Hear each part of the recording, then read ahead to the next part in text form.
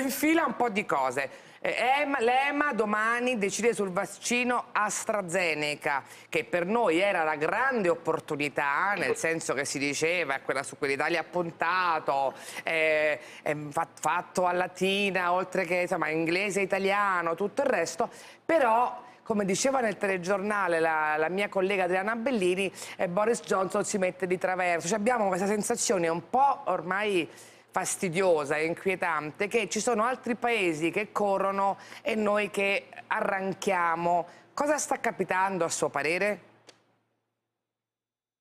Ma forse non sono la persona giusta a cui chiederlo, nel senso che eh, anche lì non era difficile essere profeti di, eh, non di sventure ma di difficoltà quando si diceva quest'estate arriverà il vaccino e quando ce professore, l'avremo... Professore, mi, veramente sono mortificata di interromperla, ma ho la pattuglia dei responsabili che sta parlando al Quirinale, il senatore Merlo, devo un attimo ascoltarlo, solo due Davanti minuti. Davanti ai responsabili mi arrendo. Il nostro gruppo non è un gruppo che vuole